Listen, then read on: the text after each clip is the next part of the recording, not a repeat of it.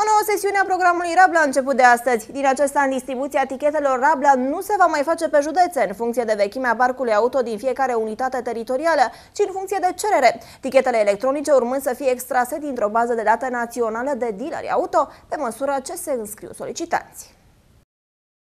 Pentru anul acesta sunt puse la dispoziție 20.000 de etichete valorice, din care 17.000 pentru persoane fizice. Cei care vor să își caseze mașina mai veche de 8 ani, prin programul Rabla, trebuie să se înscrie la un dealer auto, apoi să ducă autoturismul la casare și să-l șteargă din evidența poliției. La final trebuie să revină la dealer pentru a încheia contractul de vânzare-cumpărare. În urma dezbaterii publice s-a hotărât ca toate etichetele să fie la dispoziția oricărui dealer în funcție de cerere. Totodată spre deosebire de anul trecut, tichetele nu vor mai fi distribuite în etape, ci vor fi toate disponibile la lansarea programului. Cei care vor să își caseze mașina veche, dar nu și să cumpere o mașină nouă, pot ceda dreptul de folosire a primei de casare al cuiva, cu care trebuie să meargă la dealer. Astfel, atunci când va fi eliberat tichetul electronic, acesta va fi pe numele celui care cumpără autoturismul. După înscrierea la dealer, solicitantul va avea la dispoziție 30 de zile pentru casarea și ridicarea mașinii vechi și pentru achiziția celei noi. Dacă nu sunt respectate condițiile desfășurării programului, tichetul electronic se întoarce în baza națională și poate fi extras de un alt comerciant.